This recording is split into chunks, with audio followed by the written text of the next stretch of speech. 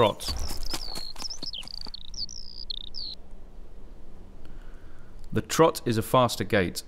The rhythm is non-stop. It sounds like one, two, one, two, one, two, one, two, tick, tick, tick, tick, tick, tick. The hind foot is placed on top of or close to the front track. Unique to the dog family is a gait called the side trot. Here the hind foot is placed beside the front foot. To enable this form of locomotion, the entire body is angled, with the rear end kicking out. It results in a slightly faster trot. This is what it looks like in the field. In this case, the hinds are all on the right side and the fronts on the left. Here is a great example of a jackal. He starts with a walk. One, two, three, four. One, two, three, four. He then speeds up and continues into a trot.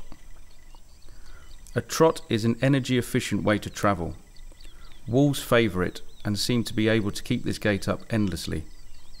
Apart from canines, a number of other animals have a preference for a trot, such as voles, badgers, and shrews. Here is a nice example of an ungulate using a trot, in this case a wild boar. Be aware that these are two tracks on top of each other. The hind foot is placed directly on top of the front foot track. Seen from a distance it looks like this. All tracks more or less stick to the central line of travel. The zigzag pattern so common of the walk is almost non-existent. Another thing to look for is debris or sand being kicked out of the track.